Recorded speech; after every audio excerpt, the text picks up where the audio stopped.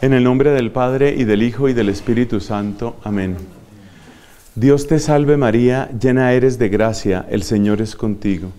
Bendita tú eres entre todas las mujeres, bendito es el fruto de tu vientre Jesús. Santa María, Madre de Dios, ruega por nosotros pecadores, ahora y en la hora de nuestra muerte. Amén. En el nombre del Padre y del Hijo y del Espíritu Santo. Amén. Todos somos conscientes que el tiempo que vive la iglesia requiere y al mismo tiempo se alegra del aporte maravilloso que hacen muchos laicos. La multitud de movimientos eclesiales o también esta que ha sido llamada una corriente de gracia, la renovación carismática, se apoyan precisamente en la presencia eh, masiva, yo diría indispensable de los laicos. Pero hay una situación particular que he podido observar en muchos grupos de laicos y que se refiere a estas tres letras, G, N, I. Esas tres letras aluden a algo pues muy elemental, pero que a veces uno no lo ve.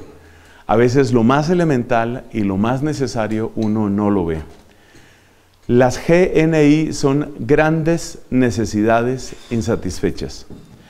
Todos nosotros tenemos necesidades, por supuesto, necesidades de los más diversos órdenes, y hay estudiosos de la psicología, de la sociología, de la política, que se han puesto a examinar cuáles son las necesidades del ser humano. Necesidades eh, físicas como la salud, necesidades emocionales como ser tenido en cuenta o ser amado, necesidades espirituales como trascender. Tenemos muchas necesidades. Pero a veces tenemos Necesidades que son muy grandes, pero que quedan con esta I, quedan insatisfechas. Y el tema es qué sucede cuando una persona tiene un proceso de conversión, tiene una realidad maravillosa de encuentro con Cristo, pero teniendo esa conversión tiene grandes necesidades insatisfechas. ¿Qué tipo de necesidades son esas?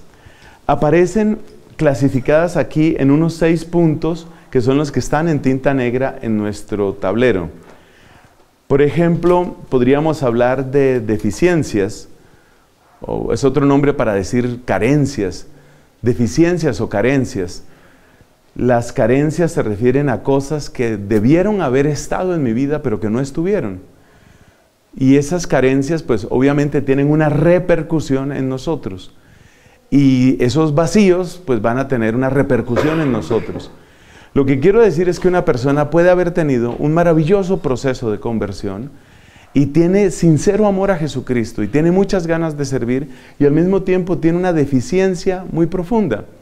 A veces son deficiencias más de tipo intelectual, a veces son deficiencias de tipo de formación, etc. A mí me llamó la atención en una misión en la que estuve hace un poco, hace un breve tiempo, me encontré con una serie de líderes, en ese caso eran líderes de grupos de oración, personas tan amorosas, personas con un deseo tan grande de servir a Dios, pero con un conocimiento religioso ínfimo, porque resulta que en su escuela primaria eh, resulta que no hubo prácticamente ninguna formación religiosa. Ellos mismos son personas que se han convertido al amor de Cristo, pero son personas que no tuvieron una familia que les inculcara la fe ni la formación en la fe. Entonces tienen grandes deficiencias en ese plano del conocimiento. Las deficiencias que más impactan en nosotros son las que tienen que ver con afectos y son las que tienen que ver con emociones. Por ejemplo, está demostrado que hay una etapa en la vida en la que uno se convence de que el mundo tiene sentido o no le ve sentido al mundo. Lamentablemente algunas personas que han tenido una infancia extremadamente difícil, tal vez no es el caso de ninguno de nosotros, han tenido la situación de un mundo en el que no ven sentido. Pensemos, y se me parte el alma diciendo esto, pensemos en los niños que crecen en la calle, esos niños que aparecen en un semáforo. Para esos niños muchas veces en los años claves de su vida lo que han recibido es la vida no tiene sentido. Es decir, no existe propiamente ni el bien ni el mal, ni la derecha ni la izquierda, lo único que existe es la rapacidad y la ley de la jungla. Esa persona crece con una deficiencia severa, una severa deficiencia en el orden moral. Te encuentras después con esa persona a los 20, 30 años de edad y le cuesta muchísimo trabajo entender que tú le hables de bien o de mal. Es una cosa que no tiene sentido para él porque en esa etapa fundamental de su vida en que se descubren esas claves morales que son el cimiento de todo lo demás, no lo tuvo. Lo mismo pasa en el plano afectivo. Todos necesitamos en cierta etapa de la vida haber sentido que nos aman porque sí. Y ese sentirnos amados porque sí es lo que hace posible que un día el lenguaje de la gratuidad y de la lógica de la gratuidad entre en nuestra vida. Pero si una persona no se ha sentido amada porque sí, pues le cuesta mucho trabajo luego abrirse a tener esa clase de experiencia. Tenemos también otras necesidades que son de tipo de decepción. ¿Qué pasa cuando yo he depositado mi confianza en una persona? Pensemos en el caso de las personas que han sufrido abusos de cualquier naturaleza, abuso verbal, abuso físico, abuso sexual. Esa persona, además de la violencia, ha experimentado una decepción profunda, porque la persona que tenía que haberme cuidado, la persona que tenía que haberme respetado, la persona que tenía que haberme protegido, se convirtió en mi agresor.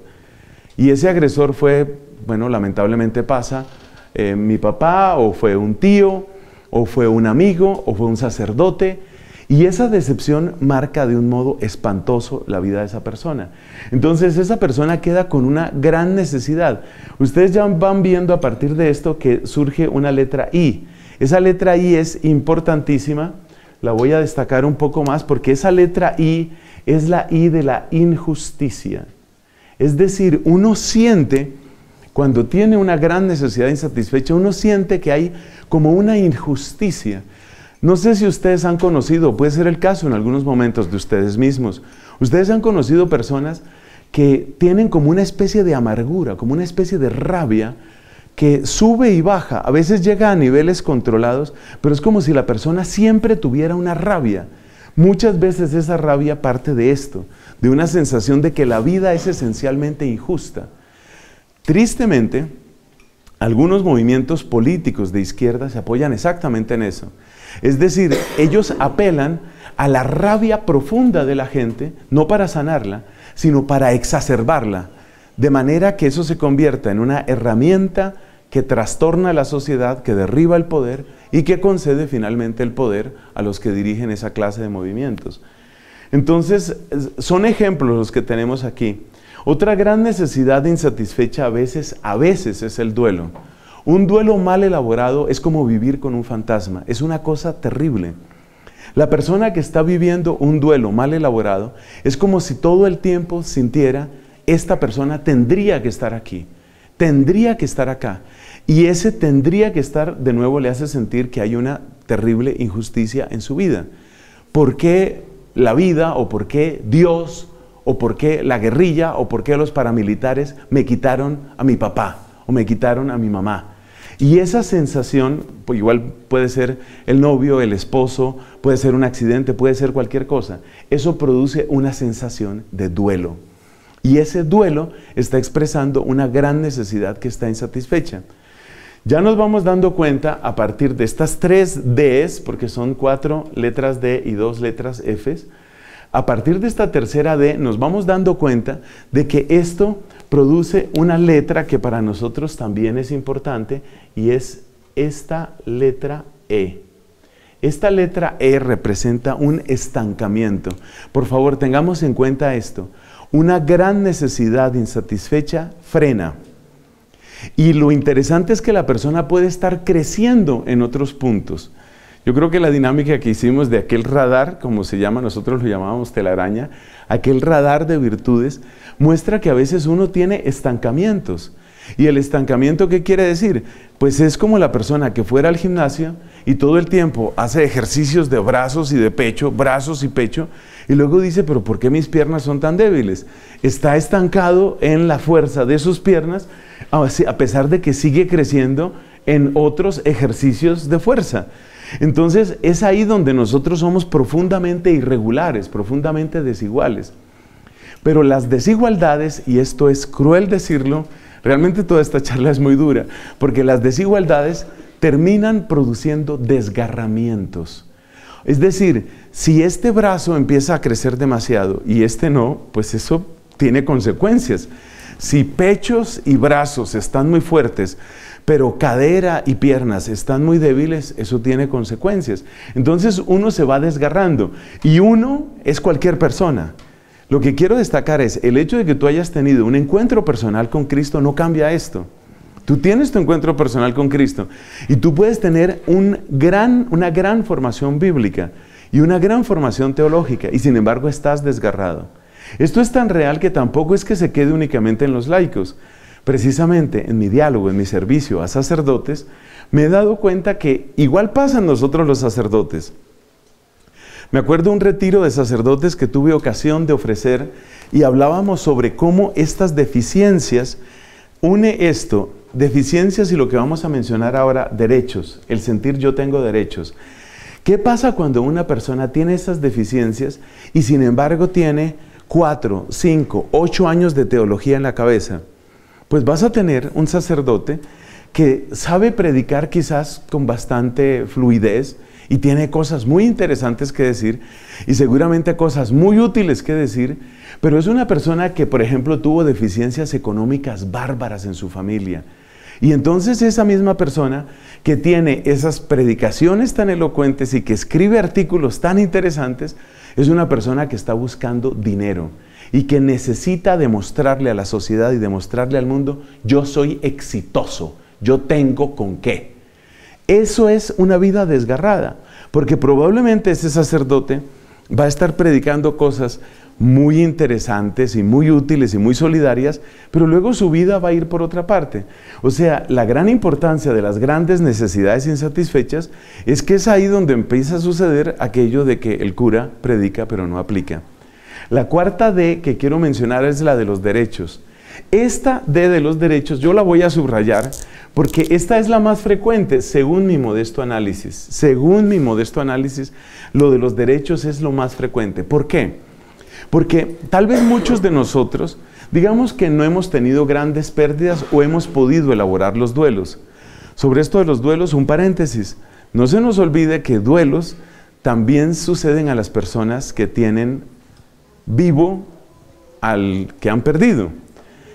Por ejemplo, hay personas que tienen papá pero como si no lo tuvieran, por distintas razones. Hay personas que tienen la esposa pero no la tienen porque se han separado. Y estas realidades de duelo están ahí. A mí me, me admira, estoy recordando ahora una parroquia de la zona de Nueva York donde estuve sirviendo, equipo maravilloso de colaboradores, gente interesantísima, pero de repente no sé por qué hice las cuentas y de un equipo de 10 personas, 7 u 8 eran personas separadas. Entonces, y mira, gente, yo quiero insistir en eso, gente llena de amor, ¿sí? Es decir, no los estoy culpabilizando, por favor nadie me interprete en esa dirección. Gente llena de amor, gente llena de servicio, gente con hambre de Dios, pero con grandes necesidades insatisfechas. Bueno, tal vez uno no tiene grandes deficiencias, tal vez no ha tenido terribles decepciones o las ha sabido elaborar, tal vez uno no tiene espantosos duelos o ha hecho el proceso, el mejor proceso de sanación de duelo, de elaboración, dice la gente de duelo, pero este tema de los derechos yo creo que sí nos afecta a todos. ¿Por qué? Porque todos nosotros estamos convencidos de que la vida debería ser, entre comillas, normal.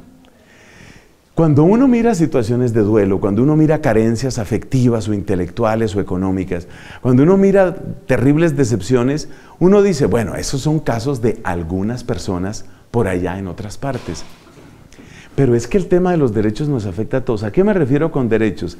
A que cada uno de nosotros, sobre todo los que tenemos un mapa de la vida, pues tenemos una idea de qué es lo normal.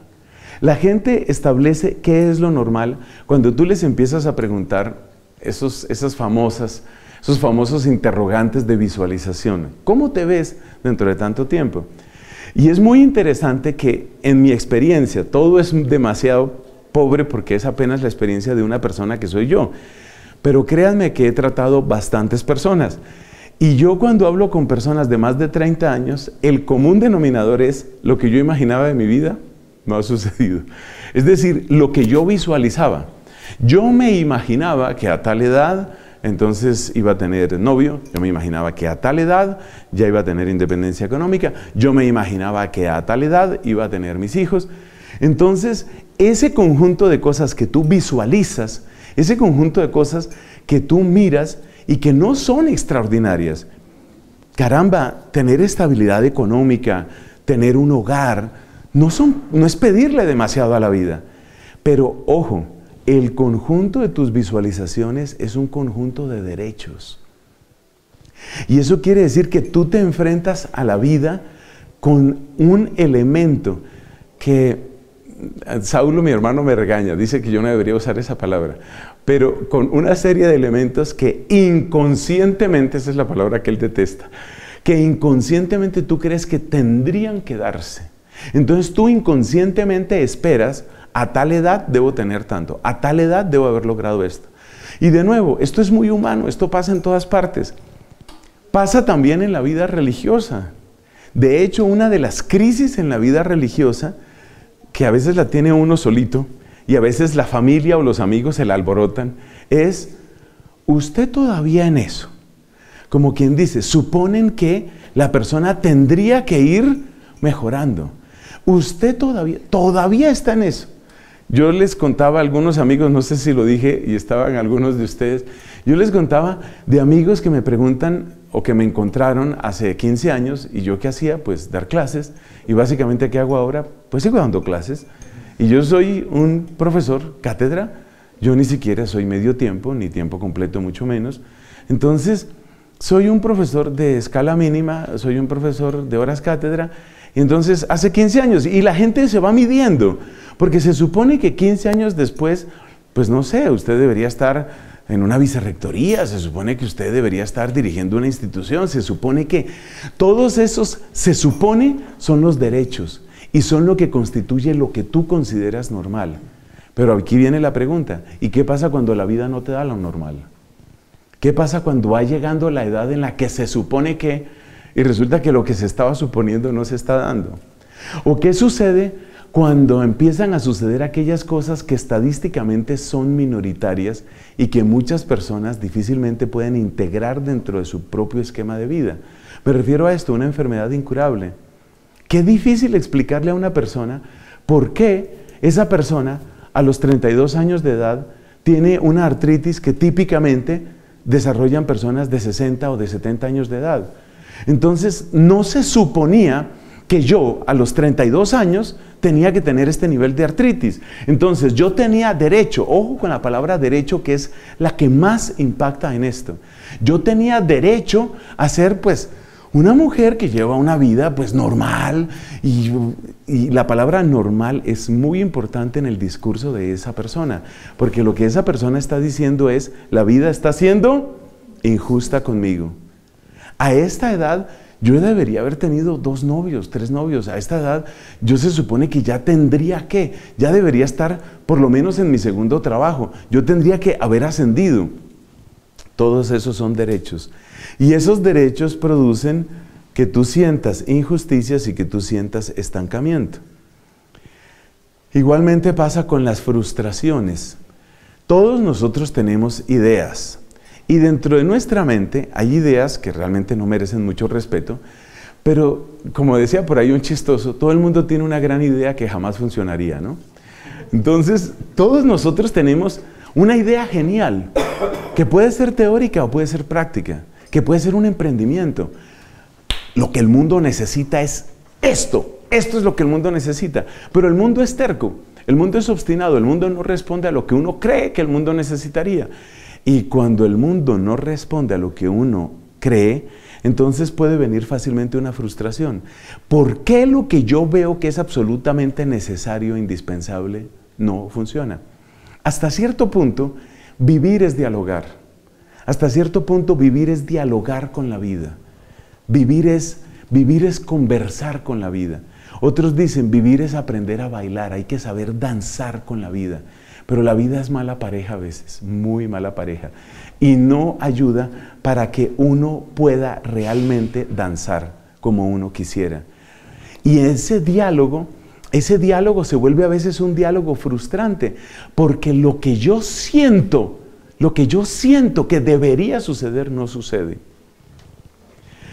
Muchas veces cuando hay injusticias y cuando hay estancamiento, entonces se produce esta otra palabra que también la voy a destacar, porque esta palabra que está de última, que es la famosa fantasía, esta palabra que está de última es una palabra que nos afecta a todos.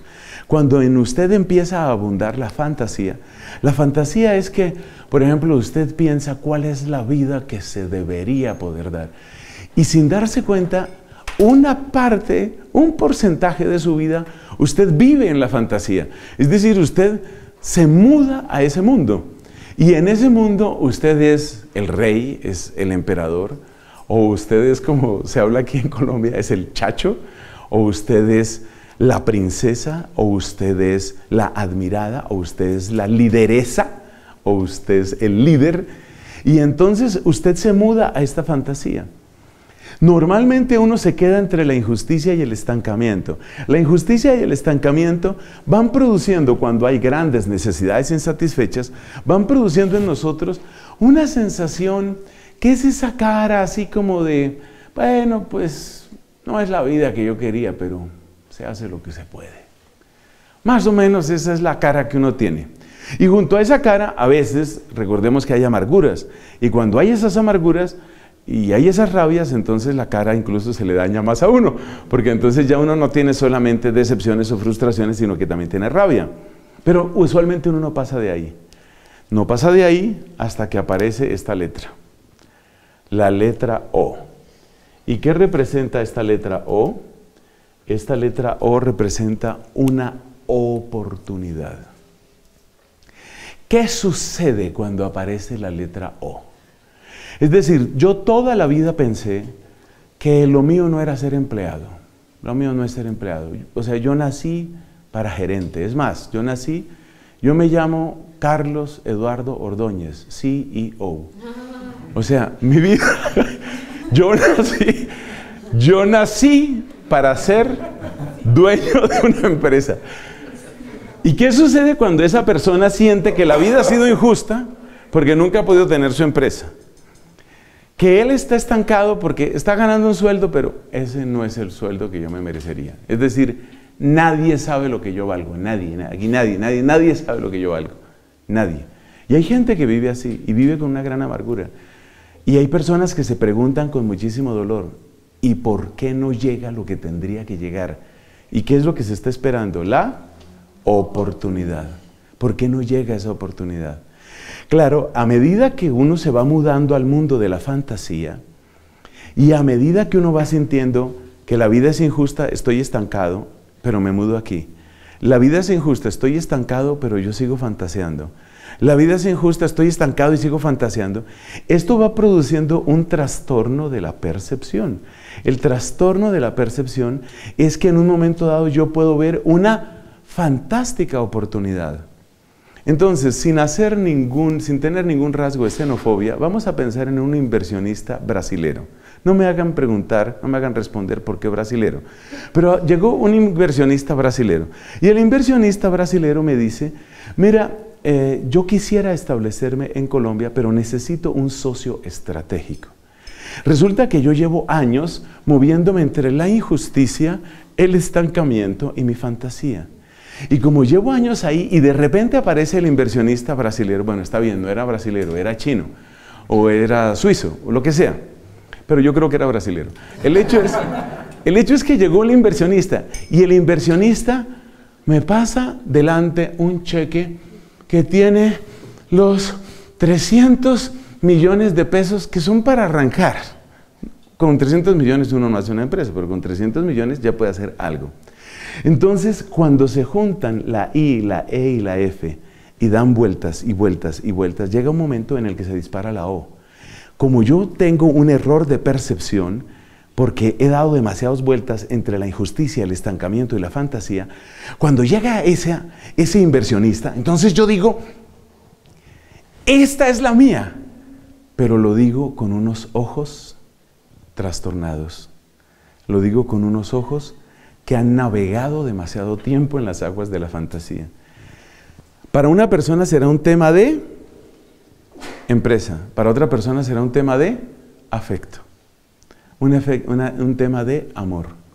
Entonces la persona tiene una gran necesidad insatisfecha y dice, mire, es injusto con la vida que yo no pueda tener una bendita pareja, por no decir otra palabra, que yo no pueda tener una bendita pareja, es una injusticia con la vida. Y usted da vueltas entre la I, la E y la fantasía, la I, la E, la fantasía. Y cuando usted ha dado demasiadas vueltas, entonces se le altera su percepción y de repente aparece una persona. Y usted siente que cuando aparece esa persona, que esa es la oportunidad. Cuando se presentan la I, la E y la O, eso se llama la tormenta perfecta. Usted ha vivido injusticia, usted se ha sentido estancado y de repente siente la redención llegó.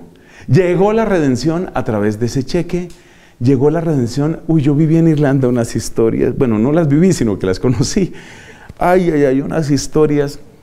Personas que pensaban que irse a otro país era su oportunidad. Es decir, llegué aquí y si estoy aquí, esta es la vida que yo me merezco pero es que no se están dando las cosas, es que tiene problemas laborales, es que su familia en su lugar de origen lo necesita, es que, o sea, la realidad le está diciendo otra cosa. Pues si la realidad no coincide conmigo, de malas para la realidad.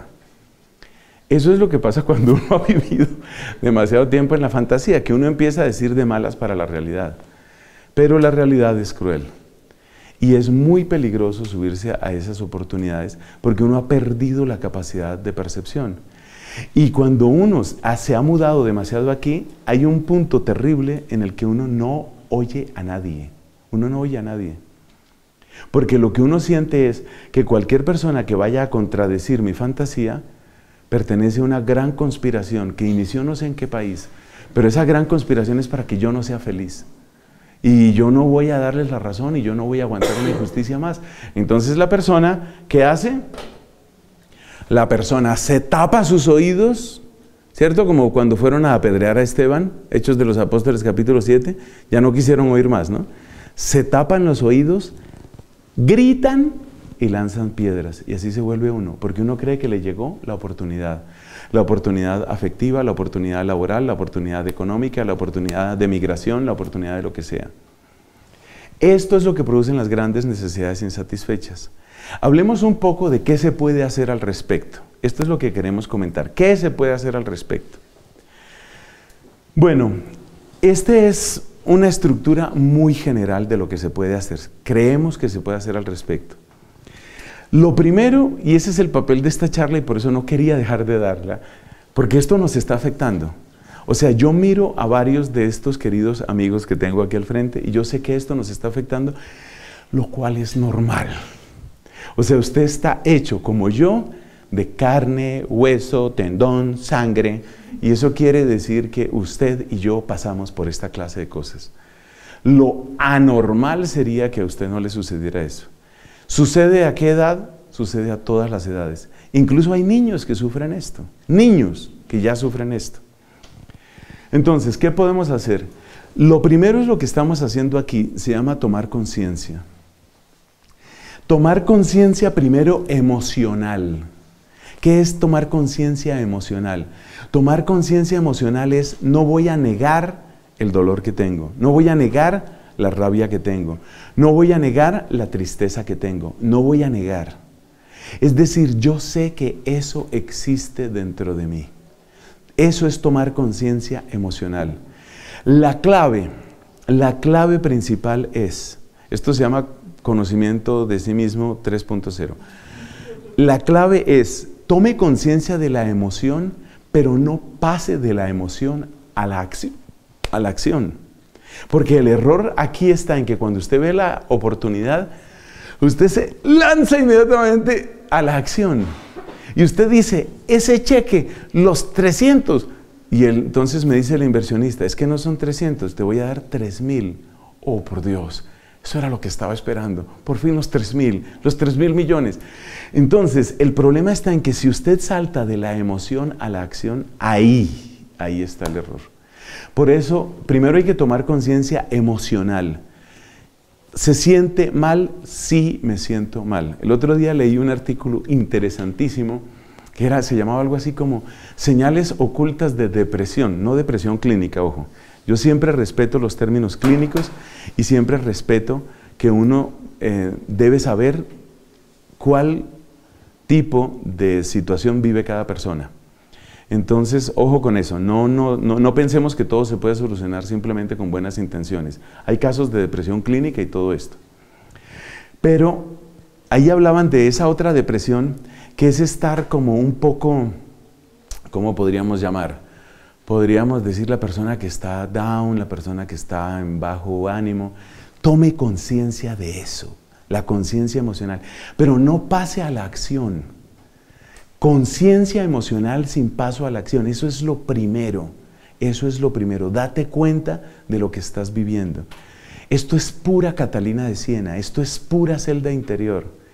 Cuando usted empieza a tomar conciencia de las emociones, pero no pasa a las acciones, en ese momento usted empieza a recuperar sus sótanos, porque ya le aprendimos a Santa Catalina que uno no tiene un sótano, uno tiene varios sótanos. De la conciencia emocional hay que pasar después a la conciencia intelectual. ¿Qué es conciencia intelectual? está muy difícil explicarlo en, el breve tiempo que nos queda, pero esencialmente conciencia intelectual empieza cuando tú te das cuenta que lo que estás viviendo, tú no eres el único ser que lo vive. Porque cuando uno está entre la injusticia, el estancamiento y la fantasía, en realidad uno está viviendo en un mundo que es el de uno solo. Cuando uno empieza a darse cuenta que uno está en la fila, como decimos a veces chistosamente, cuando uno se da cuenta que hay muchas personas que tienen muchas ideas, que hay muchas personas que tienen las mismas necesidades, que hay mucha gente que tiene menos necesidades y muchísima gente que tiene más de la misma necesidad que yo tengo, en ese momento se empieza a tener una conciencia intelectual. Cuando uno estudia las raíces, cuando uno estudia las raíces de su tema, eso es conciencia intelectual. Y en ese sentido yo bendigo tanto a Dios por lo que hemos vivido en esta convivencia y retiro. Le doy gracias a Dios porque hemos hecho mucho de esto. Cuando uno se da cuenta, un momento, ¿cuál fue el hogar que yo tuve? Un momento, o sea, varios de ustedes les oí que decían, yo creí que eso ya lo tenía elaborado, yo creí que eso ya estaba superado. Pero cuando uno empieza a mirar lo que uno ha vivido, toma conciencia intelectual. Siguiente paso que también es intelectual. Hay que hacer una lectura de entorno. ¿En qué mundo vivo? Pensemos, por ejemplo, en el tema afectivo, emocional, romántico. Hay que tomar conciencia de las estadísticas y las estadísticas son absolutamente crueles. Malas noticias para muchas personas que yo sé que quisieran tener una relación afectiva feliz. Resulta que las estadísticas indican que cada factor que tú consideras importante y es más, indispensable en tu crecimiento afectivo y romántico, cada factor va multiplicándose en sentido inverso en contra tuya. Entonces, si tú dices, bueno, yo quisiera que fuera una persona en este rango de edad, ya eso te dejó con un décimo. Eh, estoy inventando números, por supuesto. Luego tú dices, pero es que yo no quisiera que fuera una persona que estuviera en una situación de extrema pobreza. Yo quiero una persona con solidez económica. Entonces te toca multiplicar un décimo por un quinto, entonces ya te dio un cincuentavo. Además quiero una persona que sea respetuosa. Entonces eso ya eso significa que tienes que multiplicar por un octavo. Entonces ya iba un cincuentavo y entonces por un octavo, entonces ya me dio un cuatrocientosavo. En el momento en el que se llega de yo quiero ser casto, entonces, eso es 1 sobre 500. Entonces, 5 por 4 a mí me da 20. Si yo le agrego 4 ceros, entonces ya eso me da 1 sobre 200 mil. Eso quiere decir que más o menos eso es lectura de entorno.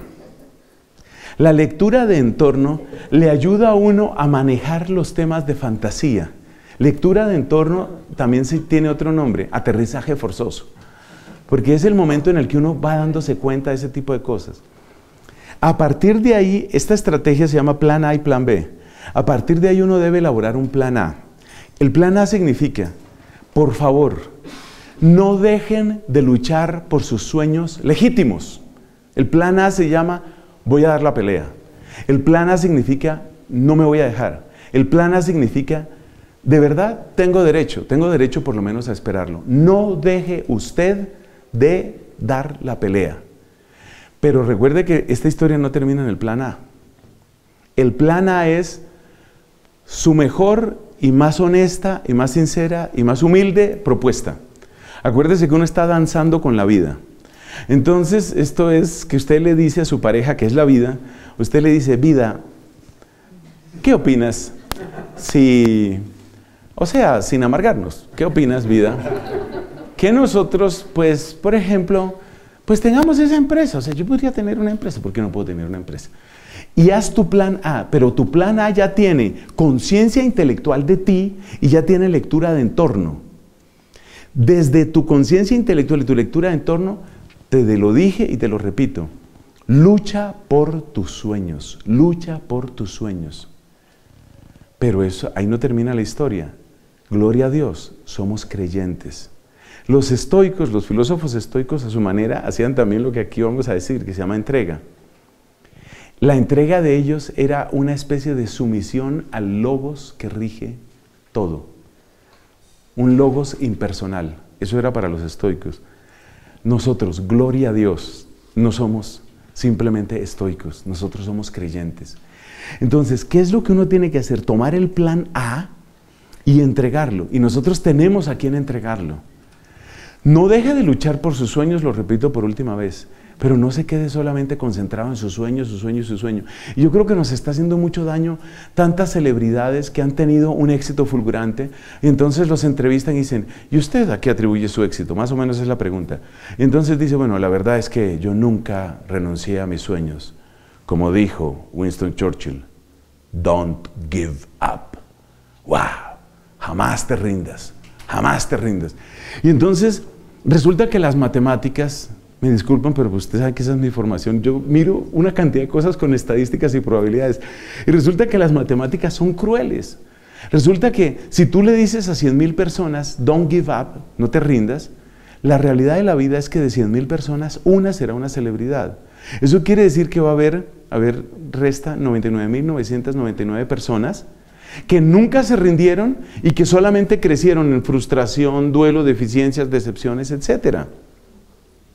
Entonces el Don't Give Up es muy bonito como para una película de la Segunda Guerra Mundial, pero hasta ahí, hasta ahí.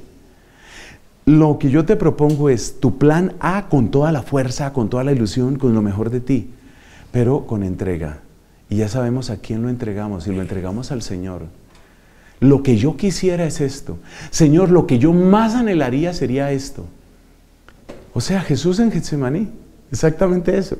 Lo que yo quisiera es que ese cáliz pasara sin que yo tuviera que beberlo. Pero no se haga mi voluntad sino la tuya. O sea, Jesús es el que nos enseña. Entonces, el plan A de Jesús, ¿cuál era? Que pase el cáliz. Pero hubo entrega. Y después de la entrega, entonces viene el plan B. ¿Y el plan B cuál es?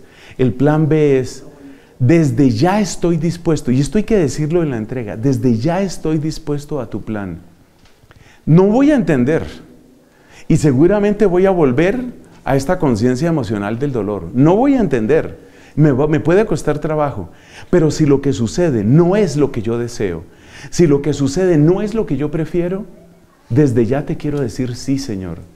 Desde ya, desde ya quiero que tú, Señor, me ayudes para aceptar lo que tú tienes pensado para mí.